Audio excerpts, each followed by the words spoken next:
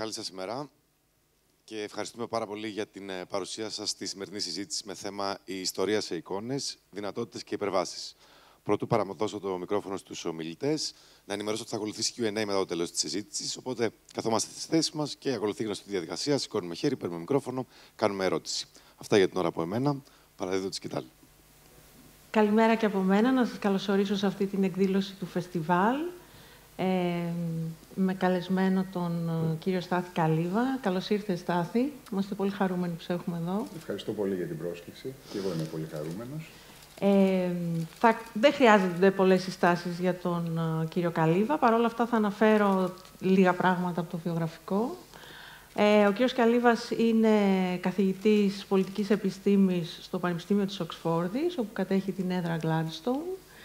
Ε, είναι επίσης στην Οξφόρδη εταίρος του Κολεγίου All Souls.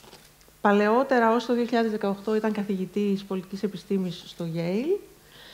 Και το 2008 εξελέγει στην Αμερικανική Ακαδημία Τεχνών και Επιστημών και το 2020 στη Βρετανική Ακαδημία. Οπότε τώρα μένει η ελληνική. Ε, με το καλό. Άλλο πράγμα η ελληνική. Ωραία. Λοιπόν, αφορμή για τη συζήτηση αποτέλεσε η μεταφορά του βιβλίου «Καταστροφές και θρίαμβοι» που κυκλοφόρησε το 2015. Η μεταφορά του βιβλίου σε ένα ντοκιμαντέρ σε 7 μέρη, το οποίο προβλήθηκε στις αρχές του 2022 ε, από τη τηλεόραση του Sky. Θέμα αυτού του ντοκιμαντέρ ήταν η σύγχρονη ιστορία της Ελλάδος.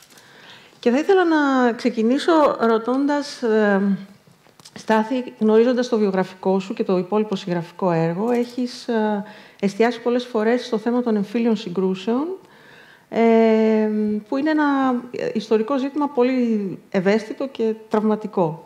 Ωστόσο, επέλεξες να κάνεις τις καταστροφές και θριάμβους ντοκιμαντέρ. Γιατί αυτό; Ε, το βιβλίο αυτό ήταν αποτέλεσμα μιας ε, σειράς ε, συγκυριών. Η καθαρά ακαδημαϊκή μου έρευνα έχει δύο χαρακτηριστικά. Το πρώτο είναι αφορά κυρίως θέματα πολιτικής βίας και το δεύτερο είναι ότι είναι συγκριτική, δεν ασχολούμαι με την Ελλάδα. Και στο βαθμό που υπησέρχεται η Ελλάδα είναι στο πλαίσιο μιας ευρύτερης συγκριτικής δουλειάς. Δηλαδή, ε, δεν είχα ασχοληθεί ποτέ μόνο με την Ελλάδα. Ε, όταν ξεκίνησε η κρίση, άρχισα και εγώ, σαν πολλούς άλλους, να αναρωτιέμαι για τα αίτια και σκέφτηκα ότι ως πολιτικός επιστήμονας ίσως ε, ήταν μια ευκαιρία να σκεφτώ το τι έχει συμβεί στην Ελλάδα, γιατί έχουμε βρεθεί στη θέση που βρεθήκαμε, χρησιμοποιώντας κάποια από τα εργαλεία και κάποια στοιχεία από την έρευνα και την βιβλιογραφία των κοινωνικών επιστημών. Ε, με αυτή τη λογική ξεκίνησα να ασχολούμαι και ουσιαστικά το βιβλίο ε, ήτανε, είχε δύο στοιχήματα. Πώς μπορούμε να μεταφέρουμε ε, σε ένα ας πούμε εκλαϊκευτικό, με έναν εκλαϊκευτικό λόγο, απλό και κατανοητό, σύνθετες έννοιες από τις κοινωνικές επιστήμες. Δεν με ενδιαφέρει δηλαδή να γράψω ένα ακαδημαϊκό πόνημα. Και το έγραψα στα αγγλικά, ε, προσπαθώντας να εξηγήσω την Ελλάδα σε ένα κοινό μη ελληνικό. Ε, και το δεύτερο στίχημα ήταν αυτό το πράγμα μετά να μεταφερθεί ε, στο ελληνικό κοινό. Ε, οπότε μεταφράστηκε το βιβλίο.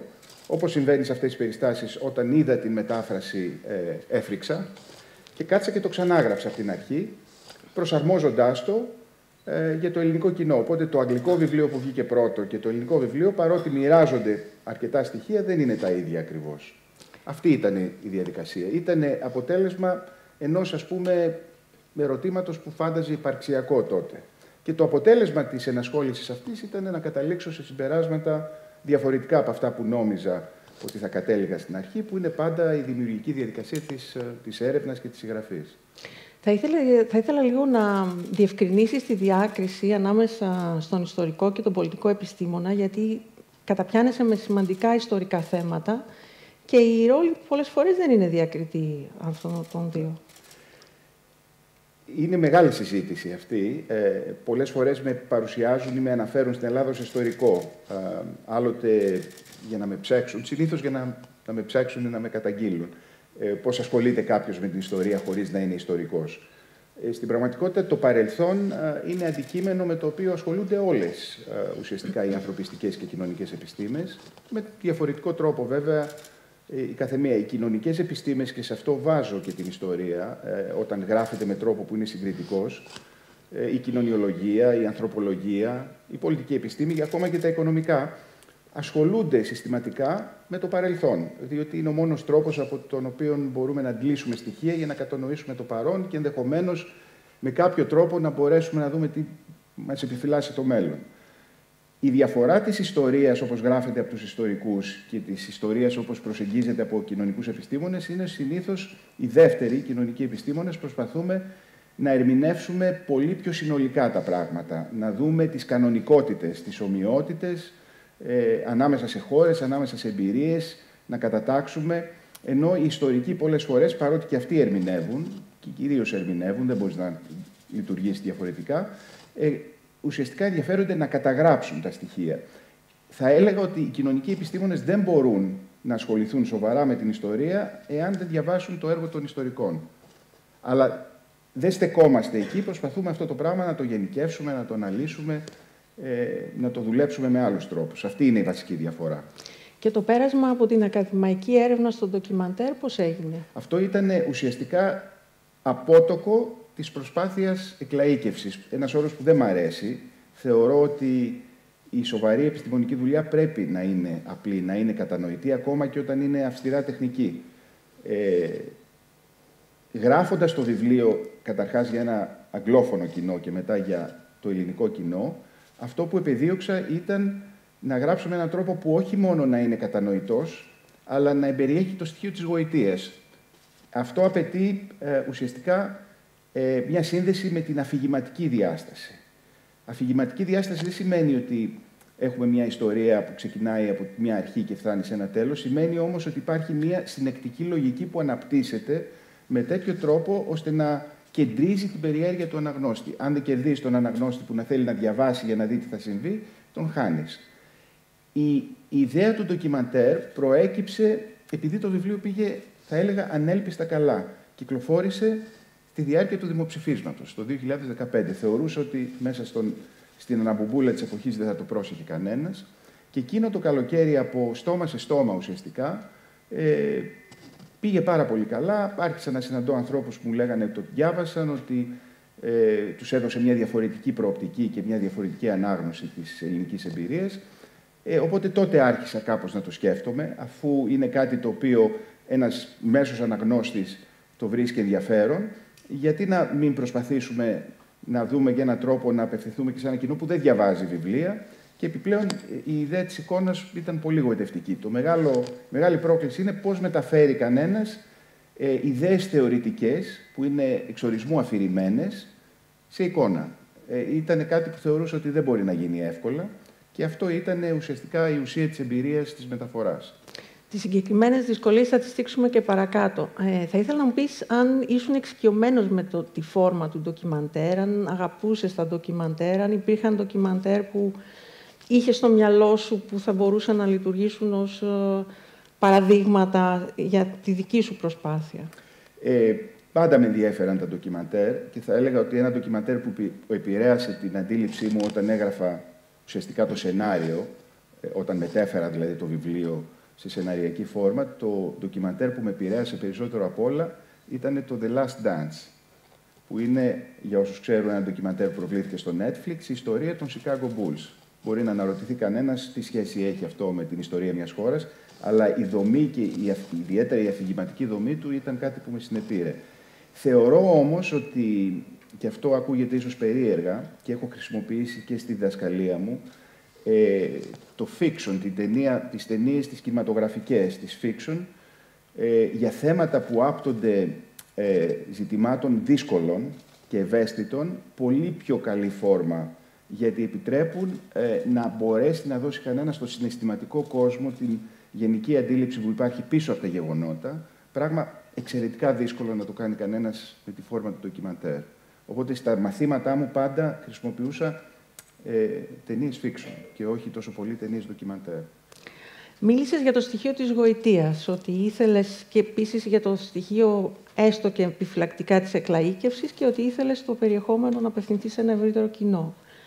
Η αναπαράσταση της ιστορίας στα ντοκιμαντέρ και στις ταινίες ε, μυθοπλασίας φυσικά ε, αποτελούν ένα κομμάτι της δημόσιας ιστορίας περισσότερο, η οποία είναι διακριτή από την ακαδημαϊκή. Αυτή η διάκριση για σένα είναι σημαντική. Ποια πιστεύεις, ποιους ρόλους επιτελεί κάθε μορφή ιστορίας; Η δημόσια ιστορία ουσιαστικά είναι, ε, αναφέρεται στη διάχυση της επιστημονικής έρευνας σε ένα ευρύτερο κοινό, αλλά συγχρόνως ε, περιλαμβάνει και την ιστορία ως διακύβευμα πολιτικό. Ε, δεν μπορούν αυτά τα πράγματα να ξεχωριστούν εύκολα ε, και είναι, πιστεύω, ίσως ε, ουτοπία να θεωρούμε ότι μπορούμε να τα ξεχωρίσουμε πλήρως. Αλλά επίσης θεωρώ ότι είναι εξίσου λάθος να θεωρούμε ότι δεν μπορούμε να ξεφύγουμε από τα στενά πολιτικά όρια που μπορεί να έχει η ιστορία στο δημόσιο χώρο. Δηλαδή, θεωρώ ότι πρέπει να προσπαθούμε να είμαστε σοβαροί και έγκυροι, ακόμα και όταν ε, έχουμε πολύ συγκεκριμένες απόψεις ή προτιμήσεις. Ε, πρέπει να το κάνουμε με τρόπο που να είναι ε, ανοιχτός και διάφανος και κυρίως σοβαρός και έγκυρος. Αυτές είναι οι λέξεις που θα χρησιμοποιούσα.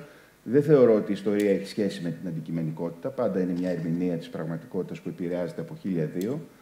Αλλά αυτό που μπορούμε να επιδιώξουμε είναι το στοιχείο της εγκυρότητας και όχι το στοιχείο α, της εργαλειοποίησης ή της παραπλάνησης. Οπότε η δημόσια ιστορία έχει πάρα πολλές, είναι ένα ναρκοπαίδιο ουσιαστικά.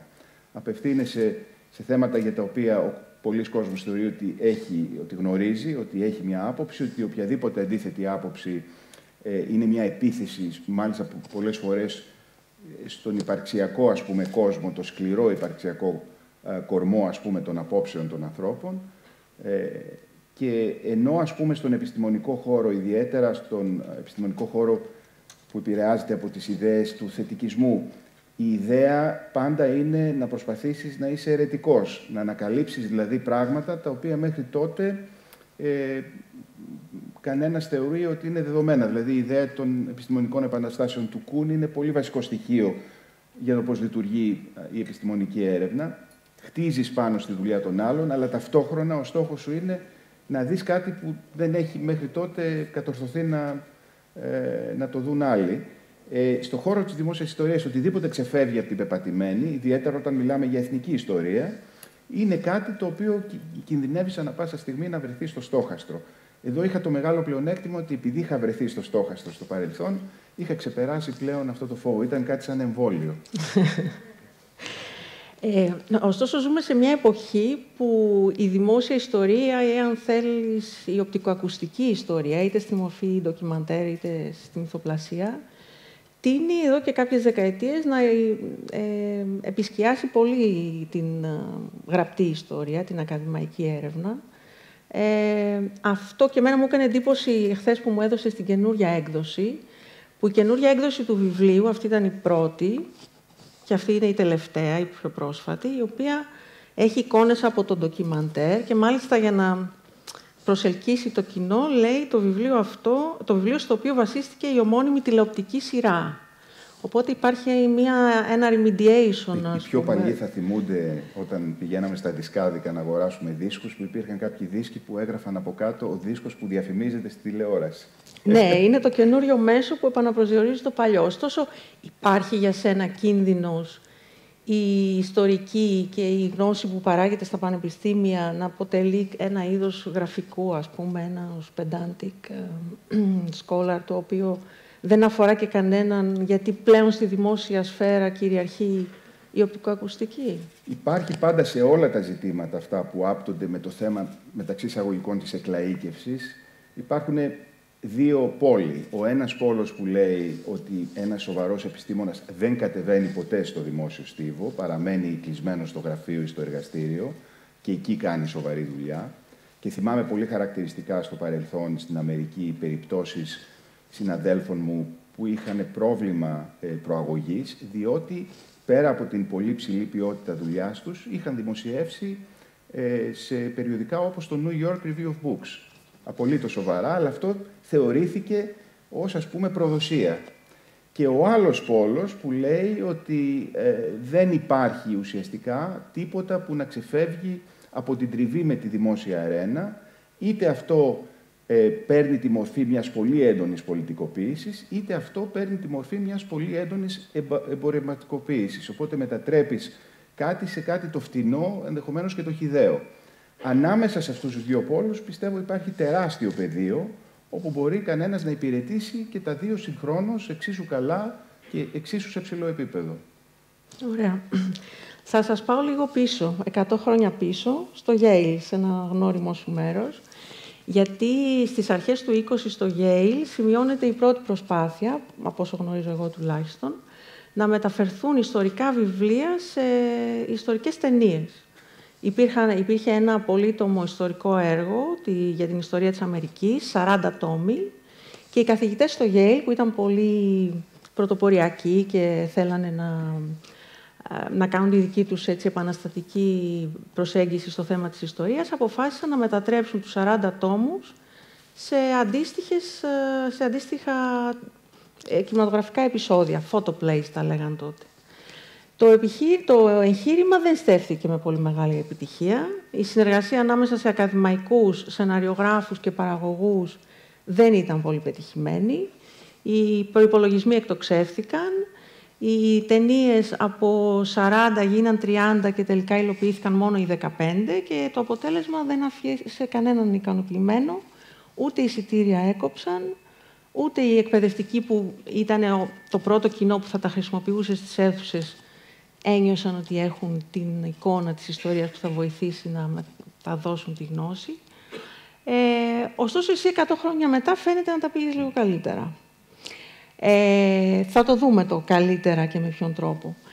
Ποιες ήταν οι δυσκολίες που συνάντησες στην προσπάθεια να μεταφέρεις το βιβλίο σε εικόνες και ήχους; Ε, θα έλεγα... Ναι, ακούω, ναι. Θα έλεγα ότι καταρχάς στις σχολείες δεν είχα καμία προηγούμενη τριβή με το αντικείμενο. Δεν είχα ασχοληθεί με τη φόρμα αυτή, ε, παρά μόνο ως θεατής. Επομένως, δεν είχα τη δυνατότητα να σκεφτώ ποιες θα ήταν οι δυσκολίες, προτού ξεκινήσω, γιατί δεν είχα κάποια αντίληψη.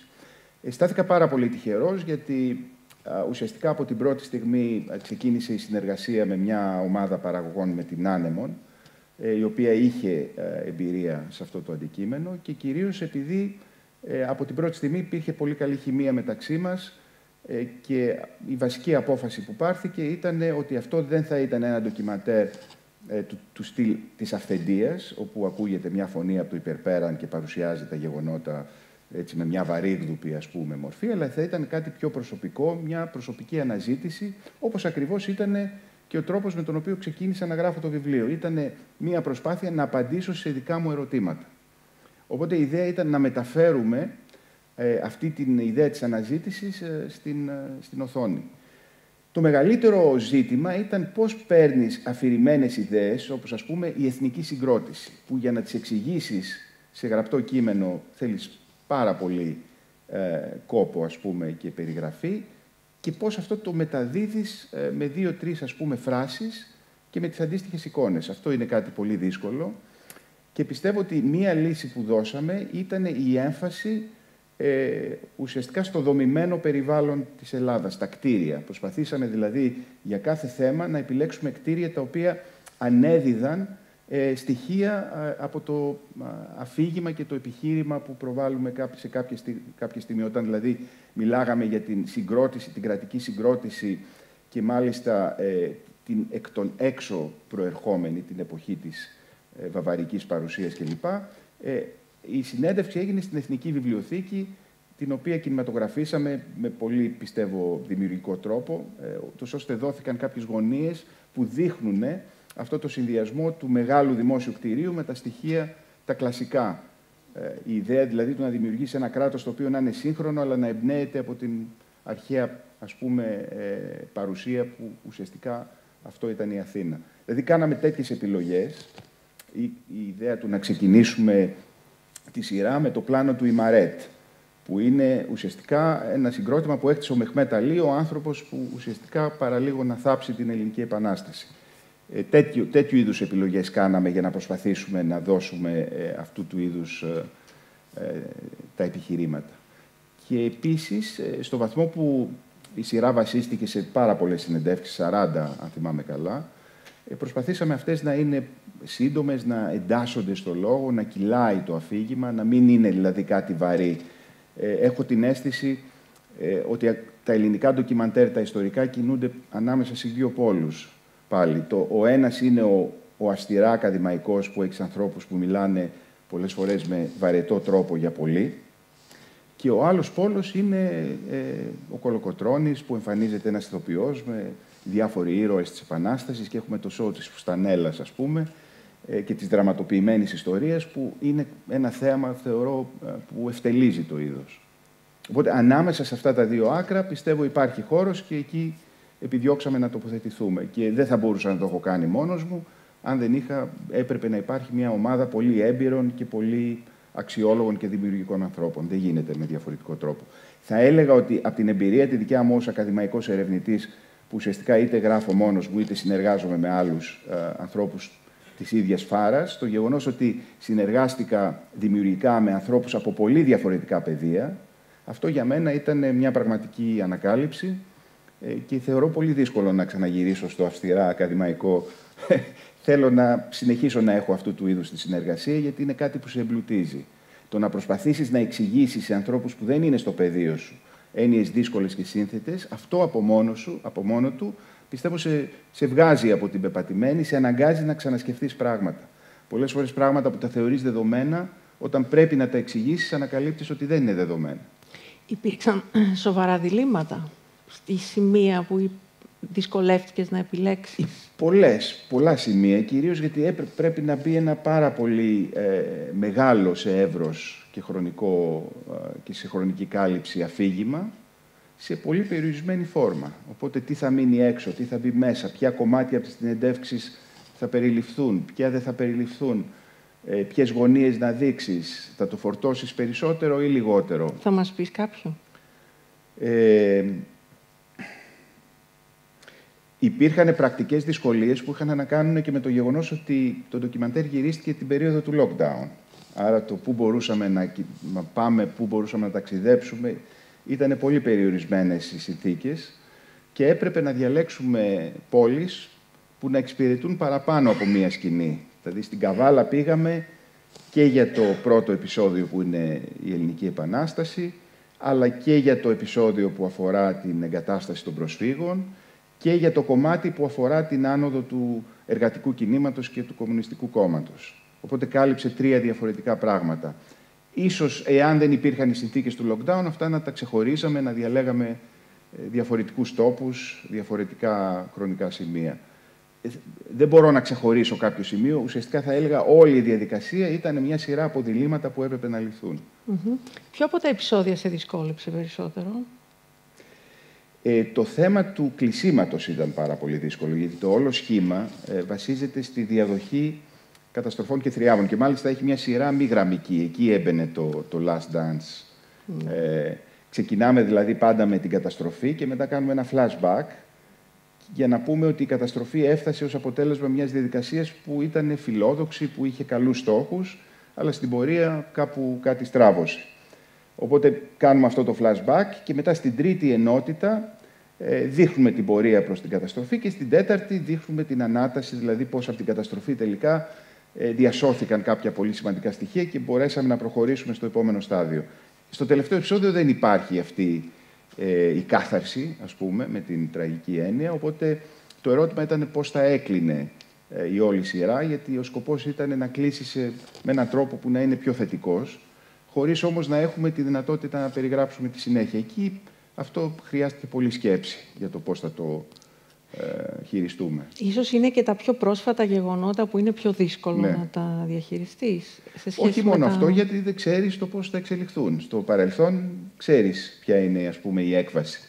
Για το μέλλον δεν μπορείς να την προβλέψεις προφανώς. Δεν υπάρχει διαφορά δυσκολίας στη διαχείριση του απότερου παρελθόντος και του πιο πρόσφατου; Η βασική διαφορά ήταν το πώς θα δώσουμε ε, οπτικά α, κάτι το οποίο να είναι μοντέρνο, σύγχρονο και γρήγορο, χωρίς να έχουμε ε, εικόνες αρχείου για το 19ο αιώνα.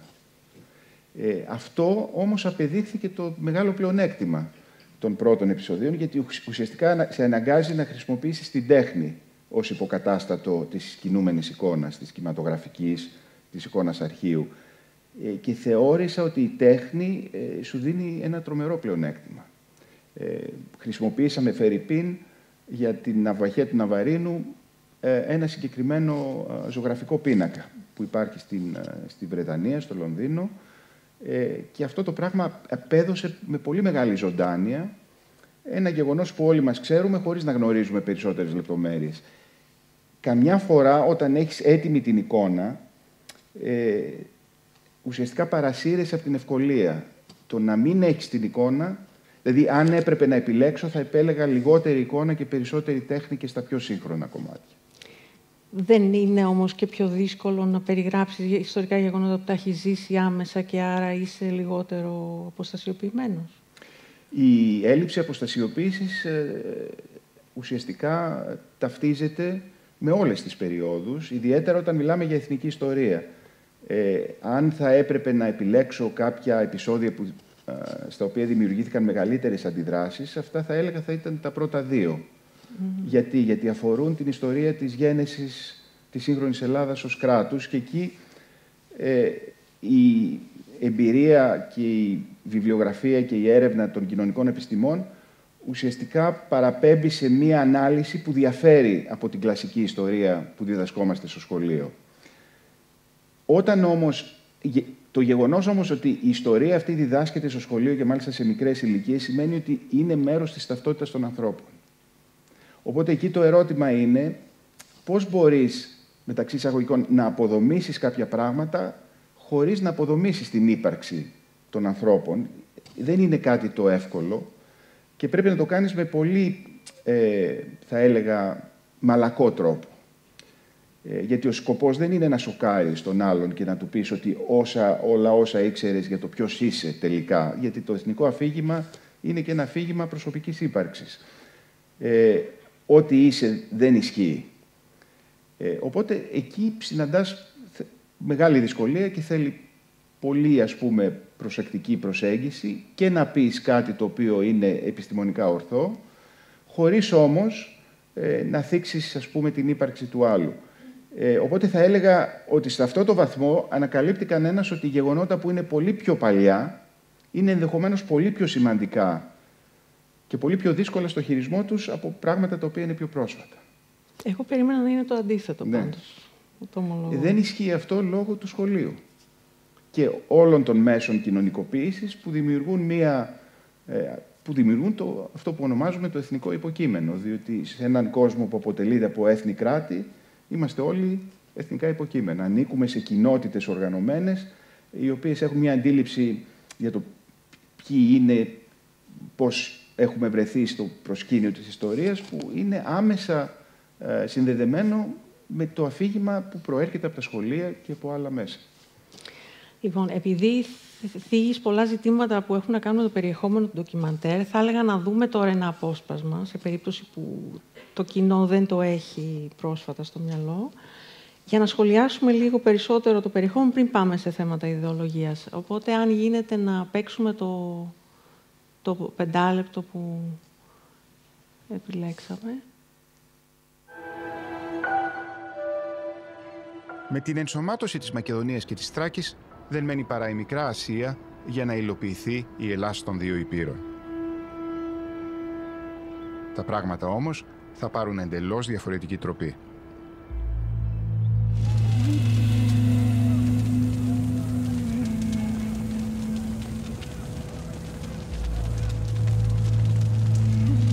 Αυτές οι εικόνες της φλεγόμενης Μύρνης το Σεπτέμβριο του 1922 αποτυπώνουν την πιο τραυματική στιγμή της σύγχρονης ελληνικής ιστορίας.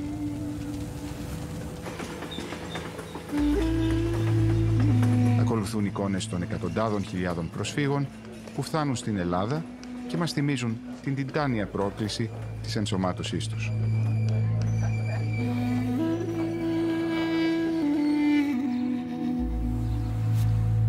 Η οικογένειά μου δεν κατάγεται από τη Σμύρνη, αλλά μεγάλωσα και πήγα σχολείο στη Νέα Σμύρνη.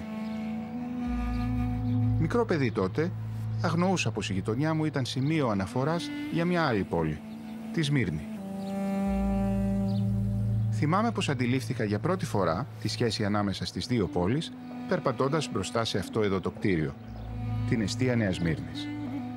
Σηκώνοντας το κεφάλι και βλέποντας τις τοιχογραφίες στην πρόσωψη του κτίριου που περιγράφουν την εμπειρία του ξεριζωμού και της προσφυγιάς.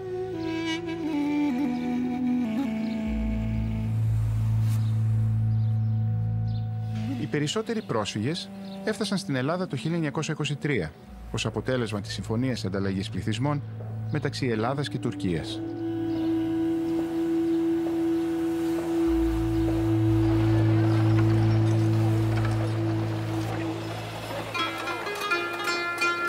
So we have a massive movement of people from their ancestral villages and, and towns, and they come to Greece. What's your feeling about that, the, you know, the, the, the forced uh, evacuation of all these people? I see it, I suppose, as a, a human disaster, uh, but as a necessary one. I mean, there was, there was no way of avoiding it. It was going to happen. It happened. A very, very large number of people came from what was, in part, a different culture, different agricultural methods, different beliefs about this and that. But eventually they integrated. So we have uh, this kind of mixed picture, and everyone would agree that uh, 1922 marks the end of the so-called great idea that Greece had. So it's the end of that dream. Yes. How do you manage the end of a dream as a nation? Well, I, I think when a dream comes to an end, it continues to flicker in some way, maybe sort of almost subterraneous. So the dream, in effect, is over, but it, it leaves an aftertaste, which takes a long time to go away. I was reading recently um, a series of speeches that Venizelos gave uh, in Greece in, uh, in 1930. I was surprised to find that Venizelos confronts the great idea with incredible realism.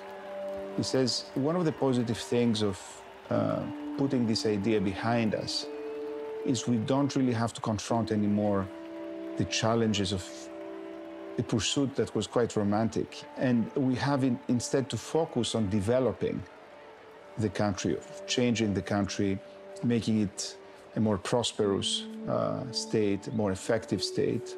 He takes an extremely realistic view at that point, and not to be drawn into a, a hopeless quest for something which is by then over.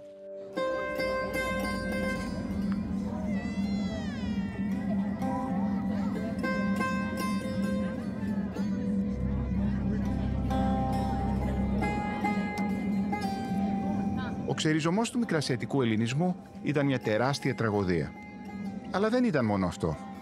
Μετά από κάθε τέλος υπάρχει και μια νέα αρχή.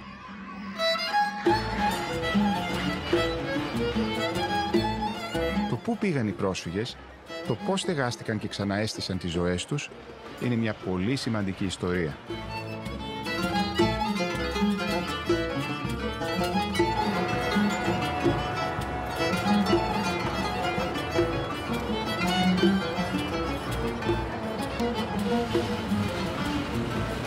Σημερινή Μακεδονία έχει ελάχιστη σχέση με αυτή των αρχών του 20ου αιώνα.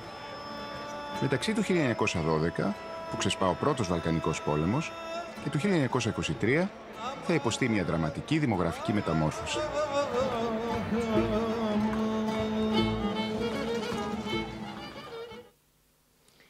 Λοιπόν, Στάθη, πες μας λίγο για την αφηγηματική δομή, που τη βλέπουμε λέ, συμπυκνωμένη στο απόσπασμα, αλλά χαρακτηρίζει και όλο, το, όλη τη διάρκεια των 7 επεισοδίων. Ουσιαστικά είναι η σύνδεση ενός τέλους που πολλές φορές στην δημόσια αφήγηση ε, στέκεται μόνο του. Αυτή είναι η τραγωδία, αυτή είναι η μικρασιατική καταστροφή. Ας ε, αναλογιστούμε το τι έγινε, οι χαμένες πατρίδες, όλο αυτό το αφήγημα. Και εδώ είναι να το πάμε ένα βήμα παραπέρα. Τι γίνεται την επόμενη μέρα. Ε, τι γίνεται με τους πρόσφυγες, τους οποίους βλέπω και έχει πολύ ενδιαφέρον μεταφράζονται ως μετανάστες, immigrants. Τι γίνεται με τους πρόσφυγες, ε, πού εγκαθίστανται, πώς εγκαθίστανται. Είναι μια ολόκληρη ιστορία, η οποία είναι πολύ λιγότερο γνωστή. Ενώ έχει γίνει, αποτέλεσμα, έχει γίνει αντικείμενο επιστημονικής και ιστορικής έρευνας, είναι κάτι το οποίο δεν είναι ευρύτερα γνωστό. Οπότε ουσιαστικά αυτό που βλέπουμε εδώ είναι πώς προσπαθούμε ε, το θέμα της τραγωδίας που είναι μια τεράστια καταστροφή να δούμε και την άλλη πλευρά του, το πώς μετασχηματίζεται σε κάτι καινούριο, πώς από την, ε, την απώλεια της Μικράς Ασίας κατευθύνεται κανένας στην, ε, στο κέρδος της, της Μακεδονίας. Αυτό ουσιαστικά είναι ε, πώς ένα πράγμα κρύβει ένα άλλο. Και αναπόφευκτα ο χρόνος και ο χώρος που ήδη αναφέρθηκε είναι δύο μεταβλητές της αφήγησης που παίζουν σημαντικό ρόλο στην, ε, στην αφήγησή σου και στο, στο, όλο το ντοκιμαντέρ. Ε, γιατί επέλεξες να, φτιάξ, να γιατί επέλεξες αυτά τα δύο σημεία να τα κάνεις να ξεχωρίζουν; Συνήθως δεν είναι αυτό που Ναι, εδώ δεν, δεν είδαμε τι προηγείται. Ουσιαστικά έχουμε τα πρώτα πλάνα που είναι στη Θεσσαλονίκη. Γιατί είναι στη Θεσσαλονίκη, διότι συζητάμε εκεί για τους Βαλκανικούς πολέμους και τη μεγάλη ιδέα στην ανάπτυξή της. Ε, μετά περνάμε στην Οξφόρδη, που έχουμε αυτή τη συζήτηση με τον ε, Λούλιν Σμιθ, ο οποίος είναι ο συγγραφέας ενός από τα βασικά συγγράμματα ε, ε, για, την, για την περίοδο εκείνη. Και από εκεί θα περάσουμε στα Γιάννενα, όπου γίνεται μια συνέντευξη με έναν μέλος μιας επιστημονικής ομάδας που μελετάει το θέμα της επανεγκατάστασης των προσφύγων με νέους τρόπους στατιστικούς Ουσιαστικά δηλαδή έχουμε ένα συνδυασμό που έχει να κάνει και με την, ε, το που βρίσκονται διάφοροι ερευνητές, ε, αλλά έχει να κάνει και με την ευρύτερη ιστορία. Δηλαδή ε, η Θεσσαλονίκη ας πούμε ως ε, ένα στοιχείο που χαρακτηρίζει τη μεγάλη ιδέα και θα περάσουμε στην Καβάλα που είναι ουσιαστικά η διαχείριση του τέλους της μεγάλης ιδέας. Είδαμε αρχαιακό υλικό, είδαμε συνεντεύξεις, split screens, κάποιον τρόπο συγκεκριμένο κινηματογράφησης. Και επίσης ο ήχος παίζει πολύ μεγάλο ρόλο. Γύρω από αυτές τις εικόνες υπάρχει ένα... Δουλεύτηκε πάρα πολύ το, το ηχητικό κομμάτι. Ναι, θα ήθελα να μου πεις για τους συνεργάτες σου, γιατί ναι. φαντάζομαι εσύ είχες τον κεντρικό σχεδιασμό με βάση το βιβλίο, Όχι, αλλά... δουλέψαμε δημιουργικά. Δηλαδή, εγώ παρουσίασα το βιβλίο, Έγραψα την πρώτη εκδοχή του σεναρίου, μετά τη, τη δουλέψαμε ομαδικά. Όπως είπα, συνεργάστηκα με την Άνεμον, που ήταν η παραγωγή της σειράς. Ε, ο, ο άνθρωπος που είχε την, ε, την εποπτεία όλης της σειράς ήταν ο Γιούρι Αβέροφ, που είχε και την ας πούμε, υψηλή α, σκηνοθετική εποπτεία και ο οποίος έκανε και το μοντάζ, που είχε, είχε την ευθύνη α, ε, της μουσικής και του, του ηχητικού κομματιού. Ε, η Ρέα Αποστολίδου ήταν ε, ε, η συνεργάτης του με την οποία τρέχουν την Anemon. Είχε, ας πούμε, και αυτή κινήθηκε κυρίως στα διοικητικά και τα, τα γραφειοκρατικά θέματα, αλλά συμμετείχε σε όλη τη διαδικασία συζήτησης. Υπήρχε ο Ανδρέας Αποστολίδης, που έχει πολύ μεγάλη εμπειρία, με τον οποίο συνεργαστήκαμε πάρα πολύ στο κομμάτι των συνεντεύξεων. Οι συνεντεύξεις είχαν μια διάρκεια σχεδόν μιας ώρας, από την οποία έπρεπε να επιλεγούν δύο ή τρία λεπτά κάθε φορά. Και τέλος, πολύ σημαντική ήταν η συμμετοχή του Αλέξανδρου Μερκούρη, ο οποίος ήταν ο σκηνοθέτης που έκανε τα γυρίσματα και ο οποίος είχε και αυτός μια πολύ σαφή αντίληψη και αισθητική εικόνα για το πώς θα έπρεπε να κινηθεί η κάμερα ε, και υπάρχει μια πολύ συνεκτική ε, αισθητική προσέγγιση που διατρέχει όλη τη σειρά. Και βέβαια κάθε γραμμή ε, τη συζητήσαμε ατελείωτες ώρες, ε, ε δοκιμάσαμε διαφορετικές εκδοχές, να δούμε τι λειτουργεί καλύτερα και βέβαια έπρεπε να πάρθουν αποφάσεις που πολλές φορές είχαν τεχνικές διαστάσεις, ε, έπρεπε να χωρέσουν σε πολύ συγκεκριμένα πλαίσια, γιατί αυτό ήταν και μια τηλεοπτική σειρά η οποία έπρεπε να διακόπτεται σε διάφορα σημεία για να μπουν διαφημίσεις. Ε, δηλαδή υπήρχαν μια σειρά από παράμετροι ε, που επέδρασαν πάρα πολύ στον τρόπο που, που αποδόθηκε η ιστορία αυτή. Ε, αλλά θα έλεγα ότι ε, η συνεργασία ήταν εξαιρετικά δημιουργική και ήταν ε, ουσιαστικά το πράγμα που κρατάω. Ε, που θα ήθελα να μπορούσαμε να γράφουν και τα βιβλία μας με αυτόν τον τρόπο. Ναι, συγκρίνοντας το, το βιβλίο και την, το, το ντοκιμαντέρ, πού νιώθεις ότι υπερέχει το ντοκιμαντέρ και γιατί; Η εικόνα έχει μια τρομερή δύναμη. και η οπτική εμπειρία, η οπτικοακουστική εμπειρία έχει μια δύναμη που που δεν την έχει ενδεχομένως το βιβλίο. Το βιβλίο, ιδιαίτερα το ακαδημαϊκό βιβλίο, ε, είναι μια διαδικασία ε, που πολλές φορές ε, βάζει τα, τον αναγνώστη σε μια πολύ δύσκολη θέση Ε, ουσιαστικά ο τρόπος που λειτουργεί η ακαδημαϊκή γραφή και ανάγνωση ε, ουσιαστικά βασίζεται στην αμφισβήτηση της βασικής αρχής της ανάγνωσης. Όταν διαβάζεις ε, ακαδημαϊκά κάθε, πρέπει να σταματάς σε κάθε φράση και να την θέτεις υπό, ε, υπό αμφισβήτηση, υπό, να τη συνδέεις με άλλα πράγματα. Δεν μπορείς να το ευχαριστηθείς το ακαδημαϊκό διάβασμα και η ακαδημαϊκή γραφή έχει την ίδια λογική. Εδώ μπαίνουμε σε μια άλλη διαδικασία που έχει το στοιχείο της τέχνης, πολύ πιο, πολύ πιο κεντρικά. Θα έλεγα το συλλογικό στοιχείο έχει πολύ ενδιαφέρον. Ένα από τα πράγματα που βρίσκω πολύ ενδιαφέροντα είναι η ιδέα του, του writing room.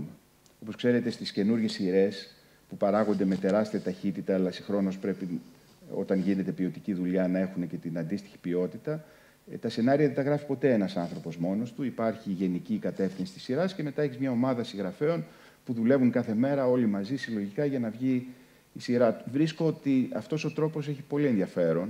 Είναι κάτι που θα ήθελα ε, να δοκιμάσω στο μέλλον. Ε, αλλά θα έλεγα ότι ε, η αναζήτηση των, της κατάλληλης εικόνας που να ταιριάζει με, ένα, με μια ιδέα, αυτό το πράγμα είναι κάτι που μπορείς να κάνεις μόνο μέσα σε αυτό το πλαίσιο. Ωστόσο και το βιβλίο και το ντοκιμαντέρ έχουν μια ιδεολογική διάσταση, όπως κάθε έργο ιστορίας ε, η ιδεολογική θέση η δική σου ήταν κάτι που είχες, είχες επίγνωση γι' αυτό, ήταν κάτι που το δούλεψες, ήταν κάτι που στην περίπτωση του ντοκιμαντέρ έκρινες ότι πρέπει να σταθμίσεις διαφορετικά από ότι όταν έγραφες το βιβλίο; Γιατί θα απευθυνόσουν σε ένα μεγαλύτερο κοινό; Όχι. Ουσιαστικά οι ίδιες αξίες και η ίδια λογική που διέτρεχε τη συγγραφή του βιβλίου ουσιαστικά με κατεύθυναν και στο ντοκιμαντέρ. Δηλαδή το βασικό στοιχείο του βιβλίου είναι ότι ε, στο μέσο της κρίσης, όταν όλοι βλέπαμε τα πάντα μαύρα, ουσιαστικά πρότεινα μια θετική ανάγνωση της ιστορίας. Ε, αυτό οφείλεται σε δύο παράγοντες. Ένας, θα έλεγα, είναι ίσως προσωπικός ή ψυχολογικός ή υπαρξιακός. Είμαι θετικός άνθρωπος και γενικά αισιόδοξος. Ένα δεύτερο είναι ότι πάντα δούλευα συγκριτικά, δηλαδή ποτέ δεν είδα την Ελλάδα ως μία μοναδική περίπτωση που στέκεται μόνη της στον κόσμο. Πάντα ε, όταν προσπαθούσα να καταλάβω το τι συμβαίνει στην Ελλάδα, την ενέτασα σε ευρύτερες δυναμικές, σε ευρύτερα πλαίσια ε, και σε ε, ένα πολύ ας πούμε πιο γενικό συγκριτικό πλαίσιο προσέγγισης. αυτό ήταν που με οδήγησε στο να κάνω κάποιες επιλογές. όταν βλέπουμε την Ελλάδα το 1820, ουσιαστικά αν βάζαμε τη θέση μας ε, προσπαθούσαμε να φανταστούμε έναν εξωτερικό παρατηρητή το 1820 που βλέπει την Οθωμανική Αυτοκρατορία και του θέτουμε το ερώτημα από όλες αυτές τις περιοχές αυτής της αυτοκρατορίας, ποια θεωρείς ότι σε 200 χρόνια θα είναι πιο πετυχημένη; Δεν υπήρχε, για να χρησιμοποιήσω και μια γνωστή έκφραση, ούτε μία στο εκατομμύριο να επιλέξει κανένας αυτό το κομμάτι που ήταν πολύ φτωχό και παρά το γεγονός ότι είχε δύο πολύ σημαντικά χαρακτηριστικά, το ένα ήταν η σύνδεση με την αρχαιότητα και το δεύτερο ήταν μία ομάδα ε, ανθρώπων που για γλωσσικούς κυρίους λόγους είχαν τη δυνατότητα να έχουν σημαντικές θέσεις στο πλαίσιο της αυτοκρατορίας. Δεν θα έδινες όμως σε αυτή τη συγκεκριμένη γεωγραφική οντότητα, ε, δεν θα προέβλεπες ότι θα έχει την εξέλιξη. Οπότε αυτό για μένα ήταν το, το ένιγμα το puzzle δηλαδή που έπρεπε να λυθεί. Γιατί, ε, πώς εξηγείται ότι μια περιοχή που δεν έχει τα φόντα αντικειμενικά με βάση τις παρατηρήσεις και τις αντιλήψεις της εποχής να εξελιχθεί με τον τρόπο που εξελίχθηκε, εξελίχθηκε με αυτόν τον τρόπο. Αυτό με κατεύθυνε ως βασικό ερώτημα. Και οι αντιδράσεις του κοινού ήταν αντίστοιχες με αυτό που περίμενες; Οι αντιδράσεις του κοινού, θα έλεγα, στο βαθμό που μπορώ να, ε, να τις εκτιμήσω, ε, ήταν πολύ θετικές. Δηλαδή, πολλοί άνθρωποι ε, ακόμα και τώρα, ε, ενώ έχει περάσει πολύ μεγάλο διάστημα, μου λένε στον δρόμο ότι το είδαν και το εκτίμησαν και τους άρεσε και τους έδωσε μια διαφορετική αντίληψη, ε, τους πρόσφερε μια... κάτι το οποίο δεν είχαν σκεφτεί. Για μένα αυτό είναι το μεγαλύτερο κοπλιμέντο. Δηλαδή να σου πει κάποιος ε, ότι τον έβαλες να σκεφτεί κάτι που δεν το είχε φανταστεί. Ε, γιατί και εγώ έτσι, δηλαδή όταν ξεκίνησα να ασχολούμαι με το θέμα, διάβασα την ελληνική ιστορία υπό το πρίσμα των ευρύτερων ας πούμε, συγκριτικών ερευνών που έχουν γίνει στον χώρο της κοινωνικής επιστήμης και εκεί βρέθηκα μπροστά σε ερωτήματα για τα οποία δεν γνώριζα την απάντηση. Και αναγκάστηκα και εγώ να ανακαλύψω πράγματα που δεν είχα σκεφτεί. Ωστόσο, παίρνεις μια συγκεκριμένη θέση για το, την κυκλική πορεία της ιστορίας και αυτό φαντάζομαι από συναδέλφους δεν είναι πάντα...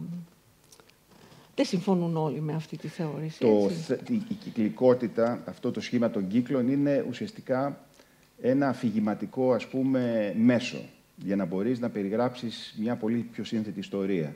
Έχει όμως και ιδεολογικό Θα έλεγα ότι η βασική, ιδεολογ... η βασική... το βασικό στοιχείο που πρέπει να ερμηνεύσουμε είναι ένα στοιχείο ε, ανάπτυξης. Δηλαδή πας από κάπου πολύ χαμηλά, κάπου πολύ ψηλότερα. Αυτό είναι ένα στοιχείο που αφορά ολόκληρη την φίλιο. Δηλαδή, άμα συγκρίνουμε τη σημερινή κατάσταση με αυτή που υπήρχε πριν από 200 χρόνια, υπάρχει μια σειρά βελτιώσεων σε πάρα πολλά ζητήματα. Αλλά είναι μια σειρά βελτιώσεων που δεν εφαρμόζεται με τον ίδιο, που δεν έχει την ίδια εφαρμογή σε, ε, παντού με τον ίδιο τρόπο και με και την ίδια δυναμική. Ε, αυτό μπορεί να το πει κανένας ιδεολογικό, με την έννοια ότι η ιδεολογία είναι να πιστεύεις ότι ο κόσμος ε, βαδίζει προς την καταστροφή και από μια άποψη ο κόσμος βαδίζει προς την καταστροφή. Το μόνο σίγουρο είναι ότι κάποια στιγμή η γη θα καταστραφεί. Αυτό το ξέρουμε, είναι δεδομένο. Δεν ξέρουμε το πότε, δεν ξέρουμε ακριβώς το πώς, θα την καταπιεί ο ήλιος, θα δημιουργηθεί μια πλανητική περιβαλλοντολογική ας πούμε, καταστροφή. Δεν ξέρουμε το πώς, αλλά ξέρουμε ότι κάποια στιγμή θα καταστραφεί. Όπως ξέρουμε ότι όλοι μας θα πεθάνουμε μια μέρα. Αλλά ο αγώνας της κατανόησης είναι το ίδιο με τον αγώνα της επιβίωσης. Δηλαδή το να απομακρύνουμε την ιδέα του θανάτου. Ε, δεν θέλω να πω σε πολύ βαθιά φιλοσοφικά ζητήματα, αλλά θέλω να πω ότι το να δούμε την ιδέα της εξέλιξης της χώρας ε, ως μιας διαδικασίας με θετικό πρόσημο είναι μεν ιδεολογικό, αλλά δεν θα το έλεγα ότι είναι σκληρά ιδεολογικό. Διαφωνώ λίγο, αλλά δεν πειράζει. Υπάρχει κάποιο άλλο βιβλίο σου που θα ήθελες να κάνεις ε, ντοκιμαντέρ τώρα που ξεκίνησες; Εγώ δουλεύω σε θέματα συγκρούσεων και πολιτικής βίας. Δηλαδή οτιδήποτε έχει να κάνει ε, από τον πόλεμο έως το οργανωμένο έγκλημα. Ας πούμε. Θα ήθελα κάποια στιγμή, όχι στην Ελλάδα, αλλά πολύ γενικότερα, πιστεύω ότι αξίζει να ξαναδιαβάσει κανένας την ιστορία τη σύγχρονη ιστορία της ανθρωπότητας από την ε, οπτική γωνία της ε, πολιτικής βίας. Είναι κάτι που με ενδιαφέρει πολύ και που οδηγεί σε πολύ ενδιαφέροντα και απρόσμενα πολλές φορές συμπεράσματα. Θα ήταν κάτι που θα ήθελα να δοκιμάσω ε, να το κάνω. Με ενδιαφέρει επίσης πολύ το θέμα τη, του ελληνικού εμφυλίου πολέμου. Έχω γράψει πολύ και έχω ασχοληθεί με αυτό το θέμα. Και αυτό είναι κάτι που με ε, πώς μπορεί να το μεταφέρει κανένας οπτικά, ε, δεδομένου ότι το υλικό είναι πολύ πιο περιορισμένο. Ε, οπότε είναι μια φόρμα και μια διαδικασία, θα έλεγα και η διαδικασία η ίδια της παραγωγής αυτής της φόρμας ε, είναι κάτι που βρίσκω πάρα πολύ γοητευτικό και θα ήθελα να δω πώς μπορώ να το καλλιεργήσω και επίσης πώς μπορώ, μπορώ να συμμετέχω σε μια προσπάθεια του να σπρώξει τα όρια αυτής της φόρμας ε, προς καινούργιες κατευθύνσεις ίσως. Ε, το βιβλίο κάποιου άλλου συναδέλφου θα το έκανες ποτέ εσύ ντοκιμαντέρ; Έχει τύχει να σκεφτείς; Δεν το έχω σκεφτεί, γιατί όλη αυτή η διαδικασία, αν υπάρχει κάτι το οποίο είναι σταθερός δείκτης, είναι ότι είναι, ε, ξεκινάς από τις ιδέες και καταλήγεις σε ένα τελικό προϊόν. Δεν ξέρω σε ποιο βαθμό θα μπορούσα να πάρω κάποιες άλλες ιδέες και να τις μετατρέψω στο ίδιο πράγμα. Θεωρώ ότι είναι μια διαδικασία που έχει να κάνει πάρα πολύ με αυτό που στα αγγλικά αποκαλούμε ε, craft. Ότι δηλαδή ξεκινάς από τη σύλληψη μέχρι το τελικό αποτέλεσμα και το δουλεύεις εσύ ο ίδιος. Στη συγκεκριμένη περίπτωση με άλλους, αλλά ήμουνα πολύ περίεργος για τη διαδικασία. Ήθελα να δω πώς γίνεται, πώς πας, ας πούμε, από ε, το raw footage, ας πούμε, σε κάτι το οποίο είναι πολύ πιο μονταρισμένο, πολύ πιο οργανωμένο. Ε, οπότε θα έλεγα ότι μάλλον δεν θα έκανα κάτι ως ας πούμε παραγωγός κάποιου άλλου. Θα ήθελα να είναι κάτι το οποίο το, το έχω δουλέψει και το έχω, σκοφτεί, και το έχω σκεφτεί από την αρχή. Πάντα να υπάρχει βιβλίο το οποίο θα γίνει ντοκιμαντέρ ή μπορεί και εξ αρχής να ασχοληθείς με την παραγωγή ντοκιμαντέρ; Θα είχε πολύ ενδιαφέρον ε, να σκεφτεί κανένας πώς θα μπορούσε να το πάρει από ένα βήμα πιο μπροστά. Θα έλεγα το γεγονός ότι υπήρχε το βιβλίο και άρα όλη η ενασχόληση, αυτό ήταν στη συγκεκριμένη περίπτωση πάρα πολύ σημαντικό. Δηλαδή βοήθησε πάρα πολύ στο να γραφτεί το σενάριο. Δεν μπορώ να φανταστώ πώς θα έγραφα το σενάριο αν δεν υπήρχε το βιβλίο και όλη η δουλειά που είχε μπει από πίσω. Και τέλος, ε, αυτό που ακούω ήδη αυτές τις μέρες στις διάφορες συζητήσεις με ντοκιμενταρίστες ε, που πλέον αποτελεί κοινή παραδοχή είναι ότι το στοιχείο της μυθοπλασίας παρισφρεί στο ντοκιμαντέρ και είναι αυτά αλληλένδετα και δεν μπορείς πλέον να τα ξεχωρίσεις. Πριν από 30 χρόνια δεν θα ήταν εύκολο να το παραδεχτεί κανείς.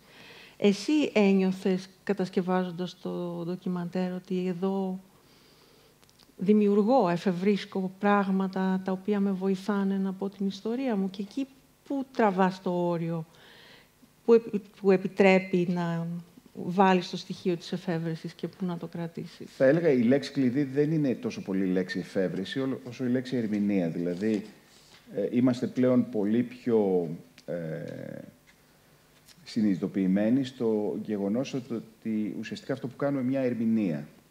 Και υπάρχουν πολλές ερμηνείες για το ίδιο πράγμα και επίσης μπορεί να υπάρχουν πολλές διαφορετικές ερμηνείες για τα ίδια πράγματα που να είναι εξίσου έγκυρες και εξίσου ενδιαφέρουσες. Δεν, θέλω, ε, δεν θεωρώ ότι υπάρχει η αντικειμενικότητα, ότι δηλαδή υπάρχει μία μόνο σωστή προσέγγιση, αλλά δεν θεωρώ ότι ισχύει και το αντίστροφο, ότι τα, τα πάντα είναι ένα χυλός και οτιδήποτε χωράει μέσα σε αυτόν. Δηλαδή υπάρχουν και γεγονότα τα οποία έχουν συμβεί με τον α τρόπο και όχι με τον β. Τον α τρόπο μπορείς να τον αφηγηθείς με διαφορετικούς τρόπους. Αλλά εάν αντί για το α γεγονός βάλεις το β που δεν έχει γίνει, που δεν υπάρχει, που δεν ήταν έτσι, τότε εκεί πιστεύω ότι περνάς μια γραμμή που δεν είναι απλώς η μυθοπλασία, ε, είναι ενδεχομένως και η ε, ε, προσπάθεια δημιουργίας μιας ψεύτικης πραγματικότητας. Ε, οπότε θεωρώ ότι η αίσθηση και η αντίληψη που έχουμε ότι υπάρχει μια ερμηνευτική ελευθερία και μια δημιουργική αποτίμηση της πραγματικότητας δεν πρέπει να φτάσουμε στο άλλο άκρο του anything goes, ότι τα πάντα ισχύουν. Δεν ισχύουν τα πάντα.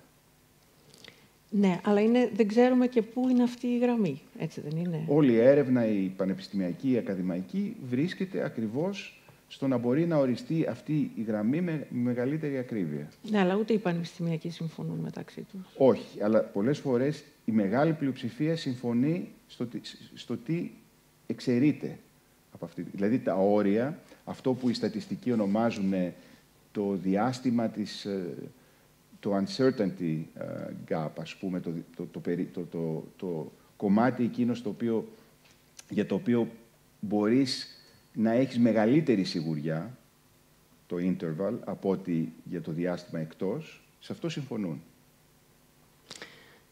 Αν δεν Χαίρομαι που βρήκες μαθηματική φόρμουλα γι' αυτό, αλλά αν νομίζω ότι αν είχαμε ναι. δέκα συναδέλφους σου, νομίζω ότι δεν θα συμφωνούσαν με πολλά από όσα ισχύριζες ενδεχομένως. Δεν θα μπορούσα εύκολα να νομίζω να πείσω κανέναν από αυτούς τους δέκα συναδέλφους ότι Φερρυπίν ε, το, το 2010 εμφανίστηκε μία γοργόνα, ας πούμε, ε, και επειδή ο καπετάνιος έδωσε λάθος απάντηση στο αν ζει ο Μέγας Αλέξανδρος, ε, προκάλεσε την κρίση. Αυτή η ερμηνεία δεν θα περνούσε. Άρα... Ναι, αλλά ενδιάμεσα υπάρχει τεράστιος χώρος για διαφορετικές ερμηνείες. Θα έλεγα ο χώρος που είναι εκτός του ενδιάμεσου είναι το 95% σε σχέση με το 5% στο οποίο υπάρχει διαφοροποίηση. Η διαφοροποίηση η ενδιάμεση είναι πολύ μικρότερη αν τη λάβει κανένας, αν τη συγκρίνει με τις ερμηνείες που βρίσκονται εκτός. Οπότε εγώ αυτή τη σύγκριση κάνω. Προφανώς όταν βρεθούμε στον εντός θα μας φανούν οι μικρές διαφοροποιήσεις πολύ μεγαλύτερες από ό,τι είναι. Ωραία. Εγώ θα σταματήσω τις ερωτήσεις εδώ, γιατί νομίζω ότι είναι ένα καλό σημείο να ακούσουμε και από το κοινό.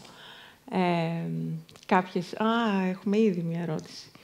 Ε, αν θέλετε.